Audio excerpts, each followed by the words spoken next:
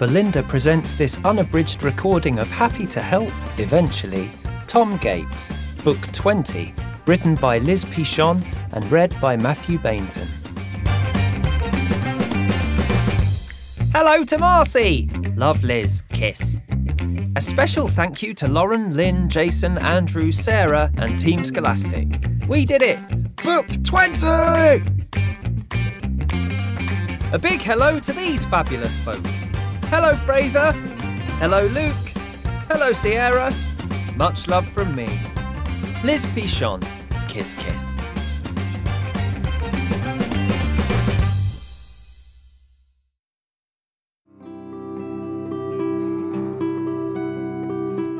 I love weekends.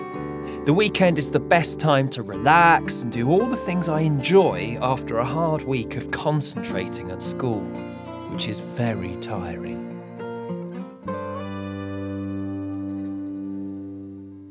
When Mr. Fullerman told us in class that we could spend our golden time, note, golden time when we're allowed to do anything we want, finishing off work or reading, I made this very important list. Things I want to do this weekend. 1. Eat a big breakfast. 2. Draw a new Dog Zombies t shirt with Derek. 3. Find a superhero costume for Leroy's party. 4. Make a birthday card. 5. Watch some good TV shows. 6. Try a new flavour of crisps. Always good to do something new. Amy looked over my shoulder and said, Nice list. Thanks. Marcus didn't agree, obviously. Why are you even making a list? he asked. So I don't forget what I want to do. Then Marcus pointed to my number four. I've made a card with my amazing brand new pens already. That's good, I told him. I've got loads of pens in all different colours, so I drew a card for Leroy. I'm good at drawing. Yes, you are, Marcus. Then he pointed at number three on my list. I've done that one too. My costume is the best. Of course it is, Marcus. I rolled my eyes because everything Marcus does is the best, according to him. Hey, Tom, can you guess what I'm going to the party as? He asked. Go on, have a guess. Go on. Go on. Can you guess? Bet you can't. I wasn't in the mood for guessing games, so I made something up. Um, you're going as Super Grumpy Hero? Huh? That's not a real superhero, Marcus told me. Are you kidding? Everyone knows about Super Grumpy Hero. No, they don't. You're just trying to be funny. Choosing the right costume is a serious business, Marcus. Unless you're a clown. I told him, which made Amy laugh out loud. Marcus didn't laugh. You'll just have to wait now. I'm not telling you what my costume is, he replied, a little bit smugly. OK, I said, as I really wasn't that bothered. This made Marcus even more desperate to tell me. I could let you know because it's amazing, but I don't feel like it now, he smirked. Fine, no need to tell me. I'll live. It's such a good superhero costume. Marcus muttered, still not giving up. Amy got bored of listening to our endless chat about costumes and said, Marcus is going as superhero cat boy, aren't you, Marcus? Amy! You spoilt my surprise, and how did you even know? Marcus asked in a slightly cross way. Uh, because you told me? You've been going on about it for weeks, Amy reminded him. That's because it's the best costume ever, Marcus said again. Not as good as a super grumpy hero costume, I said, and nudged him, but Marcus still didn't laugh. I decided to add two more things to my list. 7. Don't dress up as superhero Catboy for the party, like Marcus. 8. Spend more time relaxing, because that's what weekends are for. I wake up and open my eyes, and the first thing I see is the list I stuck to my wall. I look at number one eat a big breakfast. Excellent! I can do that right now. But there could be a problem. I can hear Mum and Dad stomping up and down the stairs right outside my room. It sounds like they're very busy moving things around and putting stuff away, which can only mean one thing. It's a tidy up Saturday. Oh no. Normally, I'd keep out of their way or look very busy so Mum and Dad wouldn't give me any boring jobs to do. It's happened before. Tom, can you take these downstairs? Oh. Tom, can you take these upstairs? Oh. Tom, here are some nail scissors to cut the edge of the grass. See you in 10 hours. Bye. Tom, can you put away the dishes? I don't mind helping, but it's always at the wrong time. Like right now, when I want to tick number one off my list and make a big breakfast. Delia is a world class expert at not helping out. Whenever mum and dad are doing a tidy up, I've noticed she says things like, Sure, no problem, I'll be down soon, then never appears. Okay, I'm just taking a shower, and stays there forever. I would take out the bins, but I'm in my pyjamas. Like that's an excuse. Although I might keep my pyjamas on today just in case. Peeking around my bedroom door, it looks like Mum and Dad are downstairs. The radio is on, and I can hear Dad singing while he cleans. I say singing, but it's more of a weird warble. Mum thinks he sounds like a seal with toothache. I agree, that's what a seal with toothache sounds like. As I'm on my way to the kitchen, I can see Dad through the crack in the door vacuuming like crazy. Mum's plumping up cushions on the sofa in a very aggressive way. She's giving them a big karate chop, which is alarming. Mum 10, cushions 1.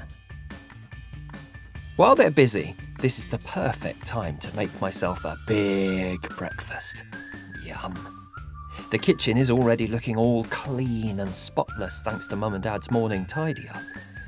I start by searching for cereal and checking all the cupboards. I'm sure Delia has hidden the good cereal, so I keep looking until I strike cereal gold! Yes! There's a brand new unopened box of crunchy munchies just waiting to be eaten. By me. I grab a bigger bowl than I'm normally allowed and try to open up the cereal packet by holding it under my arm and ripping the top off. At exactly the same time as the bottom falls open, cereal pours out all over the floor. Oh no, how did that happen? Opening it upside down didn't help. I try scooping up the cereal with my hands, plonk some in my bowl, and then scrape as much as I can back into the box.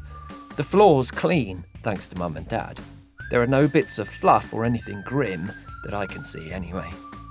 With the cereal under control, I help myself to milk, then orange juice, which is tricky to pour. The juice doesn't want to go into my glass. It's trickling over my hand onto the table and drip, drip, drip, dripping onto the floor as well. Oh, what? I spot a couple of nice looking clean tea towels that do the trick wiping up the spills. I've done more cleaning than eating so far, and this needs to change fast. There's a loaf of knobbly brown bread that's covered in bits, so I leave that and grab the last two slices of white bread. Perfect for toast doodles. Pressing my finger down hard into the soft white bread, I write Tom on one and draw a smiley face on the other. Then I put both slices into the toaster and wait. A sneaky custard cream keeps me going while I enjoy the smell of the bread toasting. Hmm. Unless it burns. I'm careful not to let this happen. In the cupboard, there are rows and rows of special jam that Granny Mavis makes. No one knows what's in it, but Granny keeps bringing us more because she thinks we like it. I think it looks suspicious and choose the squeezy honey. The toast pops up looking fantastic. I can still see my name nice and clear, even after I've covered both slices with butter and honey. I'm finally enjoying my handiwork when Delia walks into the kitchen in her pyjamas, clutching a bottle of water. Morning! I say, in a nice, cheery way. Delia makes no eye contact. Grump. Then her feet slip and she dramatically slides across the floor in a very impressive way. Uh oh. Delia grips her water bottle so tightly a jet of water shoots up and soaks her in the face. Because I'm a nice brother, I pass her a tea towel first and then say, Hey Delia, how was your trip? Joke.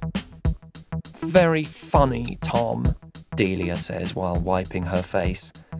What's that on the floor? It's the water you just spilt, I say, pointing out the obvious. Now she's got bits of orange from the juice on her face. I keep quiet. What have you been doing, Tom? There's cereal all over the place. Is there? I say like it's a shock. Have you taken the last two slices of bread? She adds, peering into the almost empty bread bin. No, I've left that brown knobbly bread stuff. Delia glares at it. I'm not eating fat, it's stale. Here, have this bit if you want. I offer her a slightly nibbled bit of my toast that says Om on it. No thanks, I like my toast without my little brother's fingers stuck in it. Suit yourself? At least I offered.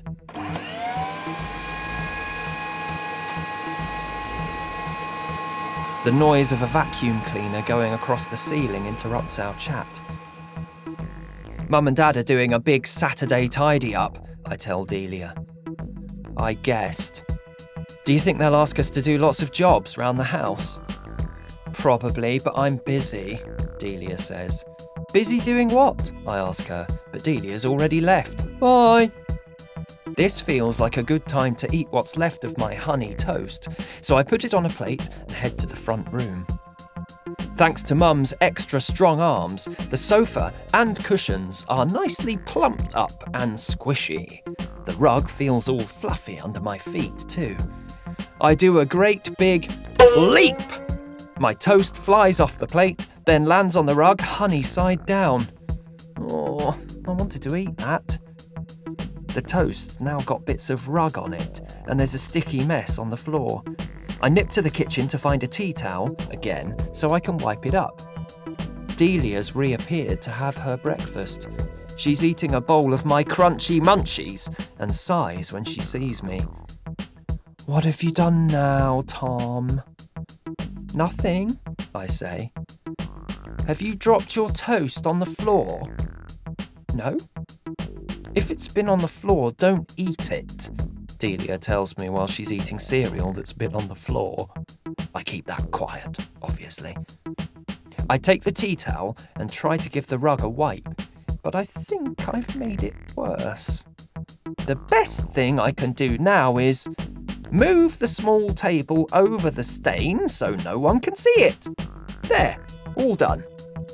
Sitting back down, I turn on the TV and I'm just about to start watching it when Mum comes in looking a bit surprised. What's happened in the kitchen, Tom? I made my own breakfast, I say proudly.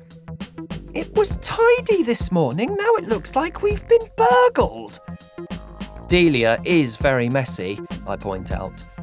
Mum's staring at the table I moved, so I tell her about Leroy's party as a distraction.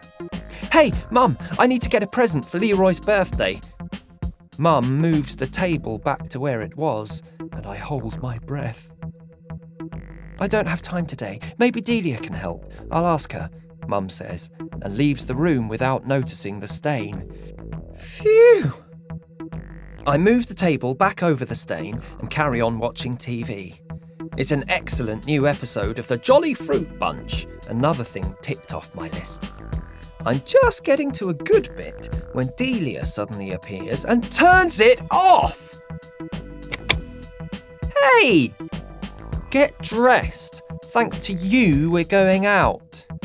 We are? Where?